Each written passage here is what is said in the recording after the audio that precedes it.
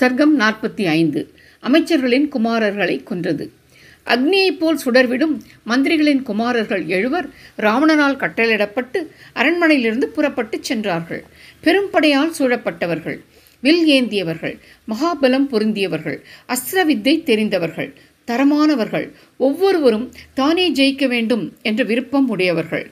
தங்கமயமான சாளரங்களால் மறைக்கப்பட்டதும் கொடிகள் பாவட்டாக்கள் பறப்பதும் இடி போன்று சத்தமிட்டு கொண்டு செல்பவைகளும் குதிரைகள் பூட்டியதுமான பெரிய ரதங்களில் எல்லையற்ற பராக்கிரமம் கொண்ட அவர்கள் மின்னலடிக்கும் மேகங்கள் போல பூரித்து போனவர்களாய் பொன்னொளி வீசும் விற்களில் நானேற்றி டங்காரம் செய்து கொண்டு போனார்கள். கிங்கரர்கள் கொல்லப்பட்டதை அறிந்த அவர்களுடைய தாய்மார்களும் உற்றார் உறவினர்களும் சோகத்தால் சித்தம் கலங்கினார்கள். கிங்கரர் போன்ற மகாபலசாலிகளே கொல்லப்பட்டு விட்டார்கள் என்றால் நம்முடைய புத்திரர்கள் எம்மாத்திரம் என்ற கவலை.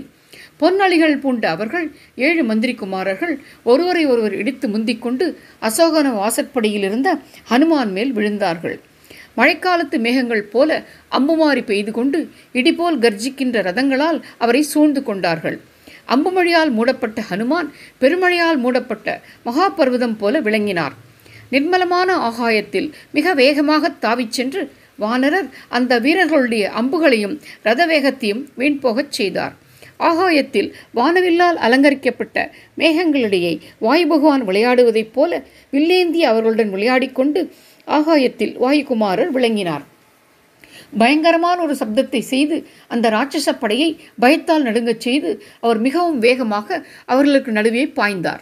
எதிர்களை வாட்டுபவரான ஹனுமான் சிலரை உள்ளங்கையால் அடித்துக் கொன்றார். சிலரை கால்களாலும் சிலரை முஷ்டியினாலும் தாக்கிக் கொன்றார்.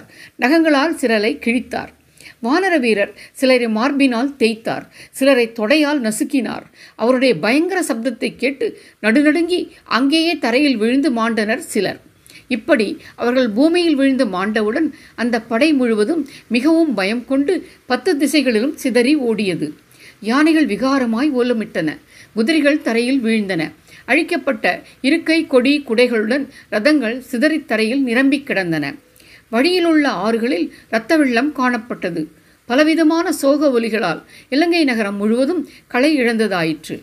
மகாபலமும் யுத்த பராக்கிரமும் உடைய வானர வீரர் பேராற்றல் உடைய அந்த அரக்கர்களை கொன்றபின் தொடர்ந்து வரப்போகும் ராட்சசர்களுடன் போர் புரிய விருப்பங்கொண்டு அந்த தோரண வாயிலேயே சென்றடைந்தார். ஆதிகாவியமான ஸ்ரீமத் ராமாயணம் சுந்தரகாண்டத்தில் நாற்பத்தைந்தாம் சர்க்கம் நிறைவடைந்தது.